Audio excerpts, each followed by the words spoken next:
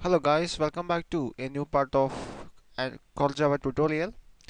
In today's episode we are going to learn about abstract classes in Java. An abstract class is same like classes and it has some more additional features than a normal Java class. An abstract class cannot be instantiated. An abstract class contain concrete as well as abstract methods. So in this part I will explain how to use abstract classes in Java with a complete working example. So for demonstrating the use of abstract classes in Java, here I just create a new class called abstract demo that contain the main method. So here I'm going to create another class here, class uh, second class. I just create a new class called the second class and that here I'm going to create another method in that class called public void.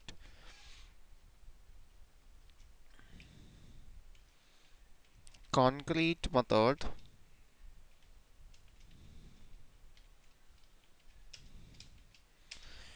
Okay I just create a method called the concrete method and here I'm going to print a message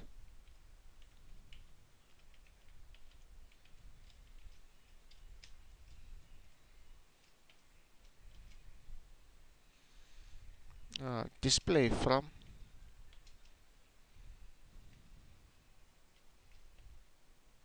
concrete method. Okay. Uh, now I'm going to create an object of the second class. Here the second class is second class. Here I'm going to create an object of that class. Second class. Second is equal to new second class. Okay just create an object of that second class. Now just call that method available on that class called uh, uh, concrete method second dot uh, concrete method. Just invoke that method. Now just run the program.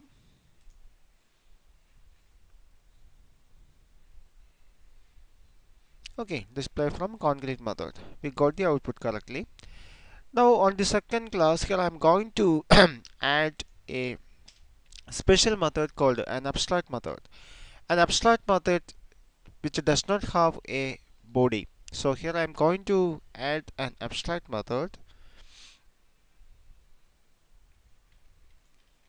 Abstract. Abstract. Void first first abstract. Just create a new method called uh, abstract void first abstract and end it with a semicolon. This is called an abstract method. So here there is no body for this method. That's why I just end this method with a semicolon. That, that means it's an abstract method. Okay. So here you got an error just check out that error. Second class is not abstract and does not override abstract method. First abstract. Okay. Here is the first rule of abstract class. If a class contains at least one abstract method that class must be an abstract class. So here second class is a normal class and that contain here I just create an abstract method on the on that class. That means now uh, we have to convert this class into abstract because it contain one abstract method. So here I am going to convert that class into abstract. Okay now we uh, we solve the problem. So now this class become abstract and uh, that class contain that uh, contain one abstract method. That's why this class is abstract. Okay now we got another problem here. Second class is abstract and cannot be instantiated. Here comes the second rule of abstract class an abstract class cannot be instantiated. That means it is not possible to create an object of abstract class. Here the second class is an abstract one so here we just create an object of the abstract class or the main method. It is not possible. Okay so this statement is illegal.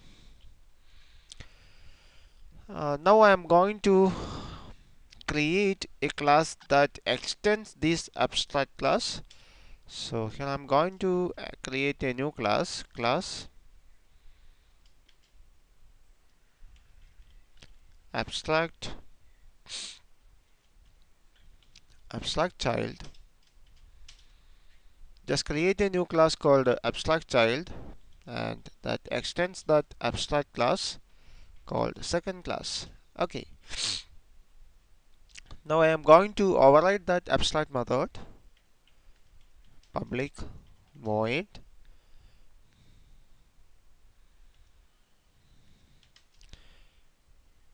First abstract.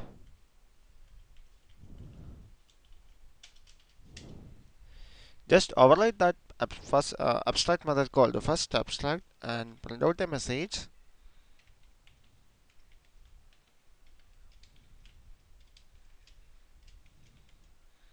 Uh, display from first abstract method. Okay. So now here on this class uh, here abstract child extends that second class. Second class means it's an abstract class and that abstract method is override here. Now I'm going to create an object of that abstract child class. Abstract child child is equal to new abstract child. Okay. Now just invoke the concrete method. And now I'm going to invoke the abstract method also.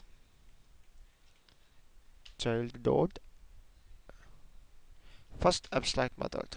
Okay now save it. Now going to run the program. Run this program. Okay we got the output. Display from concrete method also display from first abstract method okay now we got two rules first one is if a class contain at least one abstract method that class must be an abstract class and second rule is an abstract class cannot be instantiated. That means it is not possible to create an object for abstract class. Okay, there is one more rule. Suppose here I am going to add another abstract method. Abstract void. Second abstract. Okay, I just add another abstract method on this class called the second class. Is an abstract class. Now you can see that that class is actually extended by the abstract child and there is an error. Abstract child is not abstract and does not override abstract method second abstract. That means if a class extends an abstract class all the abstract methods on that abstract class are overridden on the child class. That means uh, if a class is is a child of an abstract class then all the abstract methods on that abstract all the abstract methods on that abstract class must be overridden on the child class on the child class. Okay. So now here we need to add we need to override that abstract method also. Public void second second abstract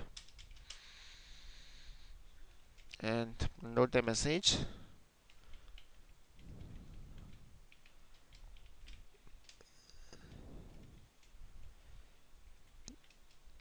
Display from second abstract method.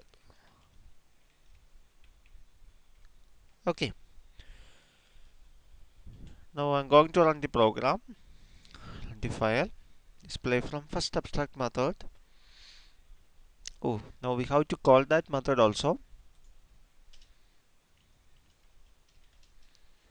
Child dot second abstract. Okay save it. Now just run the program. Now we got the output. Guys this is how we using abstract classes in java please subscribe my channel now for getting more video updates. Thank you for watching. See you in the next part of this tutorial